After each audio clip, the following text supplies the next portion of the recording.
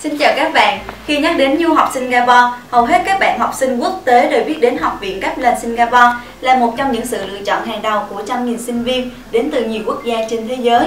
Hôm nay công ty tư vấn du học Tân Đại Dương sẽ cùng các bạn tìm hiểu rõ hơn về các chuyên ngành đào tạo của trường các bạn nhé. Các ngành đào tạo duy nhất chỉ có tại cấp lên Singapore, quản trị kinh doanh, kế toán, marketing, tài chính ngân hàng, quản lý hậu cần, quản trị du lịch khách sạn, quản lý đầu tư chứng khoán, công nghệ thông tin, quan hệ công chúng, thạc sĩ quản trị nguồn nhân lực truyền thông. Cấp lên Singapore sinh viên bình chọn là một trong ba cơ sở giáo dục bậc nhất tại Vương quốc Sư Tử, học phí siêu tiết kiệm. Có thể nói rằng chi phí du học Singapore chỉ bằng từ 1 phần 3 đến 1 phần 2 so với các quốc gia khác. Mà hơn thế nữa, khi du học tại cấp lên Singapore, sinh viên còn có thể hưởng một mức phí rẻ hơn nhiều so với các trường đại học khác tại nước này.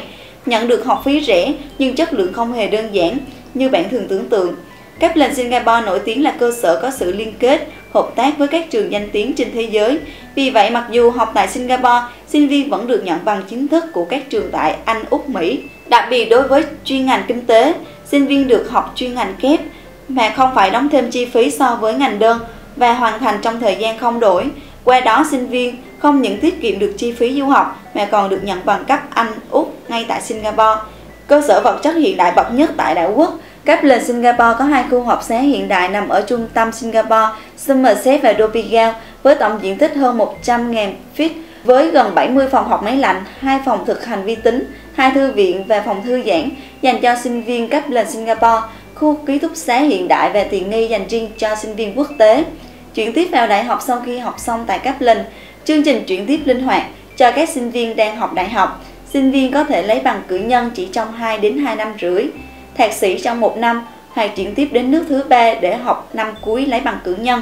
Các bạn hãy tham dự tuần tham vấn du học Singapore tại Học viện Kaplan, cơ hội nhận được những suất học bổng của các trường đại học hàng đầu tại Úc. Thời gian là từ thứ hai đến thứ sáu, từ ngày 19 tháng 3 đến ngày 24 tháng 3 năm 2018 sáng từ 9 giờ sáng đến 1 giờ trưa và chiều là từ 15 giờ chiều đến 17 giờ chiều. Địa điểm văn phòng công ty tư vấn du học Tân Đại Dương, mặt tiền 148 1 Trần Quang Khải, phường Tân Định, quận Nhất, thành phố Hồ Chí Minh.